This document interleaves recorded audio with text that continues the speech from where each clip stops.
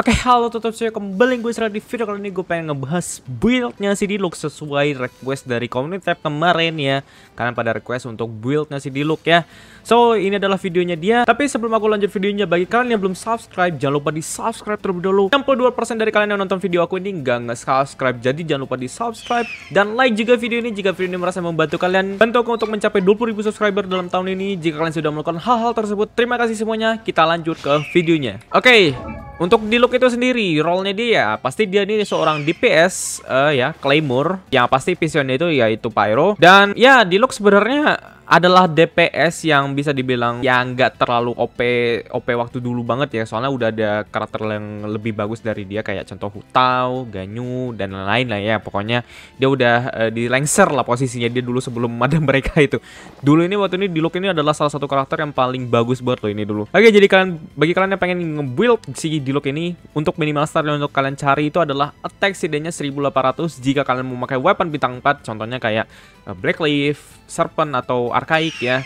Itu 1800 itu tanpa reso pyro. Ingat to be mention itu 1800 itu tanpa resonansi pyro. Jadi kalau udah pakai resonansi pyro usahain attacknya itu bisa sampai 2000 ya. Bagaimana untuk web jika kalian memakai weapon kayak weapon bintang 5 atau weapon yang dengan second statnya attack persen? Seharusnya kalian bisa dapat attack sampai minimal 2000 ya.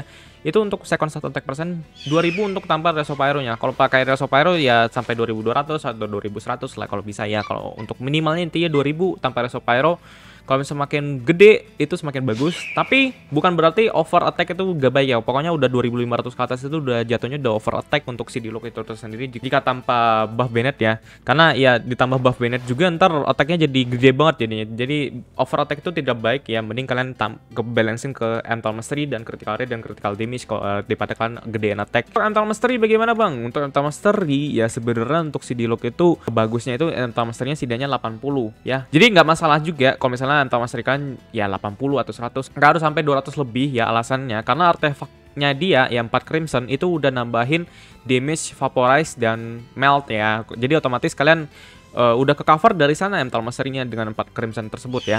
Jadi Emtal Mastery setidaknya minimal 80. Kalau misal bisa lebih gede itu lebih bagus, tapi jangan over Emtal Mastery kayak contoh sampai 300 Emtal Mastery dari startnya doang ya itu jangan sampai ya. Untuk critical rate bagaimana Bang? Untuk critical rate itu adalah 60% yang harus kalian tarik ya. Yang pasti itu adalah critical rate minimal seorang DPS adalah 60%. Kalau bisa lebih tinggi lebih bagus ya.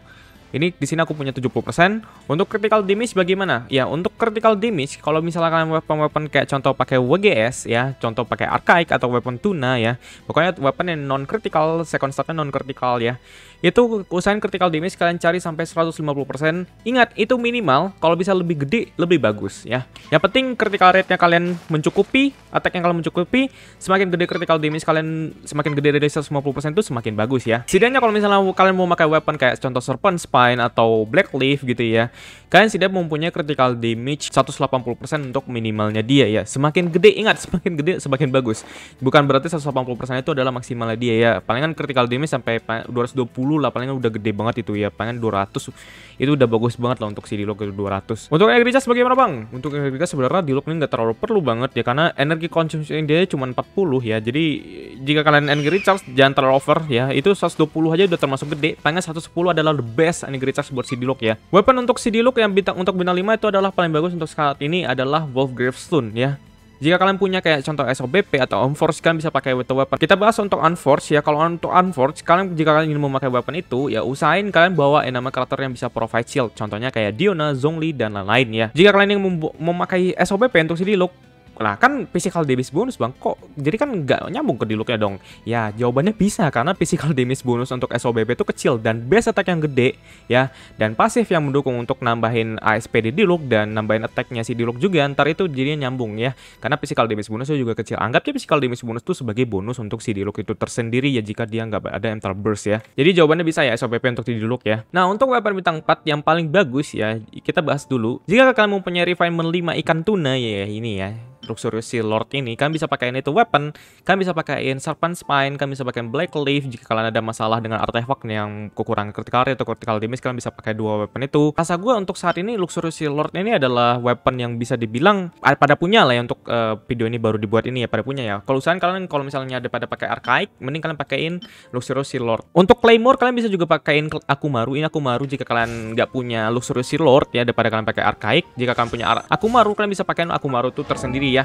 Oke okay, bagaimana untuk weapon bintang 3 buat sementara ingat ya buat sementara. Kalian bisa pakai The Club ya untuk sementara. Ingat ya buat sementara bukan permanen. Kalau misalnya udah AR gede ya udah end game kalian usahain gantiin weapon-weapon yang ku bilang tadi yang bintang 4 yang tadi itu ya. Oke untuk artefak set dulu bisa dibilang wajib pakai Crimson Witch of Flames ya untuk saat ini. Karena belum ada artefak yang terbaik buat si uh, Diluc saat ini selain Crimson Witch of Flames ini ya. Nah, ini artefak memang nyambung banget, memang sinergi banget buat si Diluc karena ini dua piece-nya dia nambahin pyro damage semua sebesar 15% dan dia meningkatkan damage overload dan uh, burning ya juga sebesar 40% dan dia meningkatkan damage favorite dan melt sebesar 15%. Nah, ini yang maksudku tadi kenapa EM itu kalau EM kalian tuh di sekitar 100 atau 80 juga nggak masalah karena dia ada di sini ada peningkatan damage favorite dan melt ya. Dan di sini kalau misalnya kayak mental skill ya, itu bakalan ningkatin 50% efek dua piece kalian ya. Otomatis kalau misalnya satu tiap satu mental skill mental skill sekali ya di lock ini bisa bisa sampai tiga kali mental skill dan dia itu maksimal juga tiga stack juga ya untuk uh, set uh, crimson ini itu bisa ningkatin 7,5% untuk setiap satu kali mental skill di lock otomatis dari empat crimson ini jika full stack ya empat crimson ini otomatis dia bakal nambahin 37,5% pyro damage bonus ya. Jadi ini artefak paling the best buat buat si lock oke bagaimana jika kalian belum punya empat crimson yang baik ya? Daripada maksa empat crimson ya mending kalian pakai ya dua crimson dan dua lainnya dulu ya kan? Nah, kalian bisa pakai dua crimson dua gladi terlebih dahulu. Kalian bisa pakaiin 4 gladiator juga jika kalian 4 gladiator kalian itu juga bagus ya. Ini ingat buat sementara ya.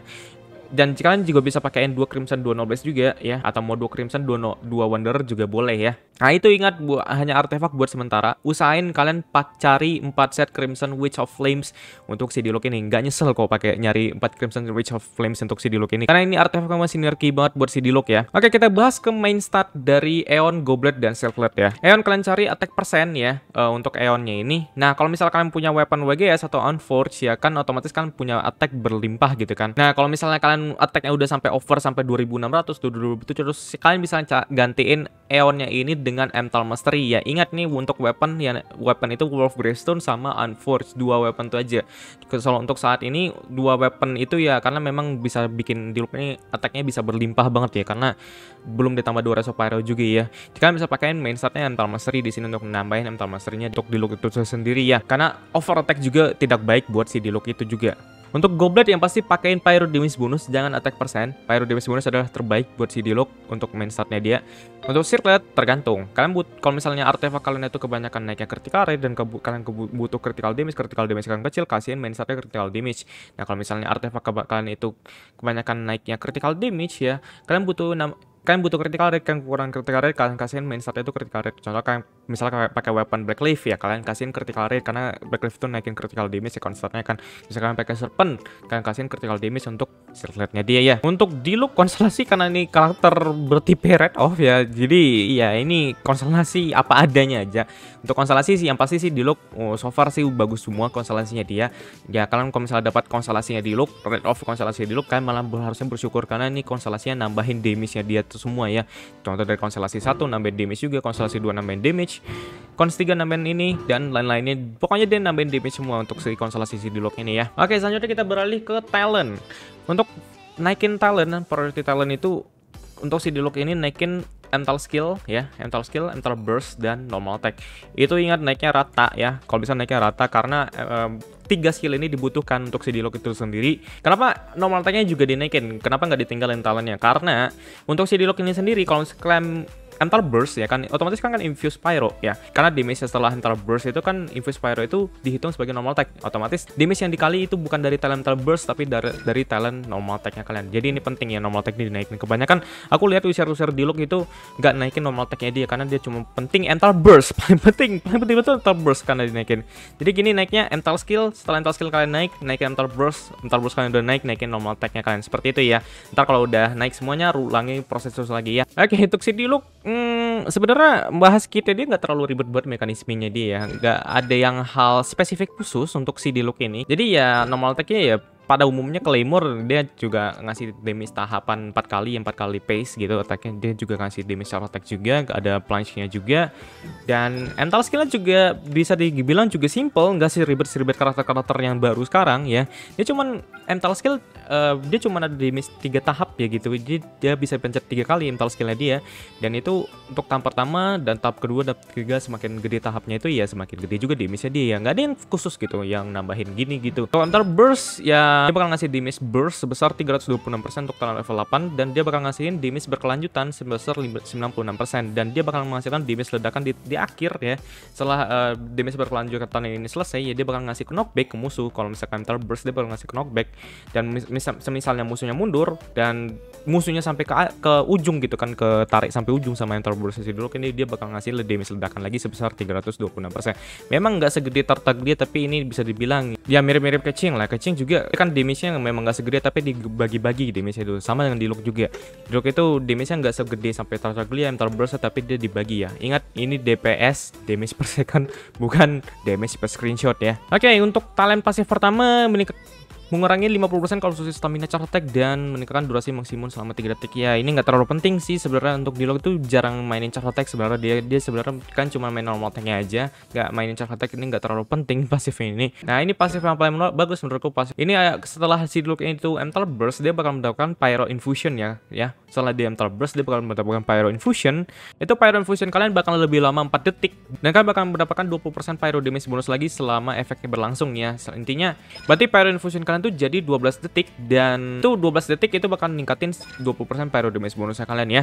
Dan di sini pasif uh, selanjutnya ya pasif uh, pada bawaan gitu ibaratnya pasif uh, spesial dari karakter tersebut dia bakal mengembalikan 15% or saat mengcraft senjata tipe claymore ya. Ya nggak ada yang ribet sih duk ini cuman dia memang bener-bener karakter yang bisa dibilang simple cuman ya ibaratnya ready to use lah gitu. Kalian ngebuild nih karakter kalian naikin semua kalian tinggal pakai nggak perlu namanya belajarin mekanisme mekanisme mekanisme ribet kayak Baal, Aloy atau si Yula juga ya karena dia memang memang simple simple tinggal main aja tinggal bar barbarin aja main oke selanjutnya kita bahas party untuk si Diluc ya Party dulu Diluc itu sebenarnya simple banget. Yang penting kalian bawa Sinkyu ya, itu paling Sinkyu adalah paling important buat bersih Diluc dan Bennett ya.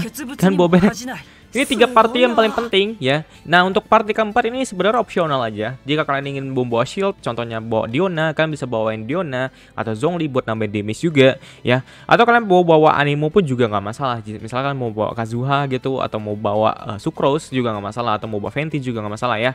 Yang penting tiga ini yang paling penting di Rook, Shinkyu, Bennett ya. Nah ini jika kalian ingin party agak berbeda dikit Kalian bisa pasangin sama Ayaka sebenarnya. Karena Ayaka ini juga bisa dibilang enak juga uh, Mental Bros-nya ya Memang gak terlalu lama-lama banget uh, apply main krayonya Tapi dia Ayaka ini adalah apply main krayo terbaik untuk saat ini. Karena Mental Bros-nya Ayaka ini apply krayo itu cepet gak Jadi uh, dia bakal bisa yang nge-trigger melt itu bakalan si Diluc bukan si Ayaka ya. Atau kalian mau bawa shield juga Mau wow 2 DPS gitu silahkan. Tapi yang paling ya, seperti yang biasa aku bilang sebelumnya Yang paling penting itu adalah Sinkyu atau Bennett ya. Oke, kita bakalan coba damage raw-nya si Diluc tanpa interaction dulu untuk mental burst-nya dia ya. Kita mental skill tiga kali buat stacking ininya. Ya 13.000 untuk didapatkan mental skill ketiganya.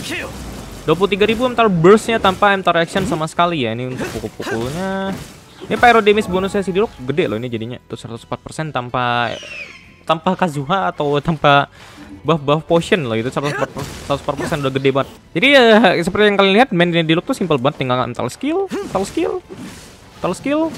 Kalau mental burst ready kan mental burst terus pukul lagi cari energi lagi buat mental burst simple sesimpel itu mainnya di lock gak nggak perlu ribet-ribet banget lah oke selanjutnya kita bakalan coba ngelawan si Primo Govisap dengan party yang gue bawa saat ini tapi aku nggak pakai football critical rate karena critical rate-nya kalian bisa lihat sebelumnya itu critical rate-nya 7% itu udah gede banget ya ini nggak perlu lagi ya kayak berubah-berubah karet.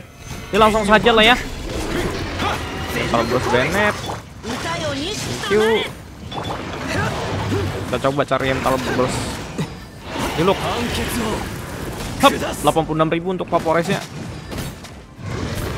Mana? Ngehit di look ke mana coba? Oke. Okay.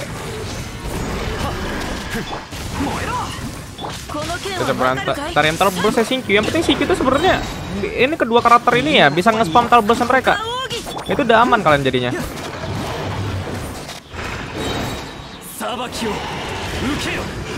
Dua ribu. Oke, mantap ya.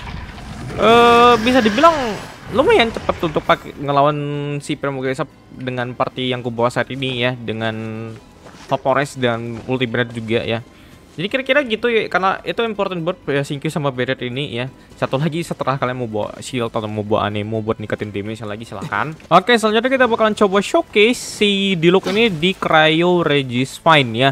Eh, nggak lengkap lah video aku tuh tanpa showcase dia kira-kira ya. Buat ngelatihan damage potensi maksimal yang bisa didapatkan untuk karakternya jika memakai buff ya. Kita bakal pakai buff Adeptus dan kita bakal pakai buff potion ya. Oke jadi langsung saja kita coba ya oke Kazuha Kazuha Starburst Kazuha Starburst Bennett Starburst Mona dan Starburst Diluc Boom, 221 ribu ya damage yang bisa kita dapatkan untuk full buff dari si Diluc ini ya. Memang nggak bisa segede-segede kayak Hutao dan lain-lainnya. Untuk damage per screenshot Diluc itu memang nggak segede kayak si Hutao dan si Childe dan lain-lain lah. Karena dia persentasenya bisa dibilang lebih kecil dari mereka. Tapi kalian jangan berkecil hati, bukan berarti damage Diluc lebih kecil, berarti Diluc itu nggak bagus ya. Karena dia itu ada damage berkelanjutan, damage ledakan. Ini ingat ya, ada dua dua penting ini, poin dua penting ini. Karena dia cuma dari bukan dari damage ininya doang.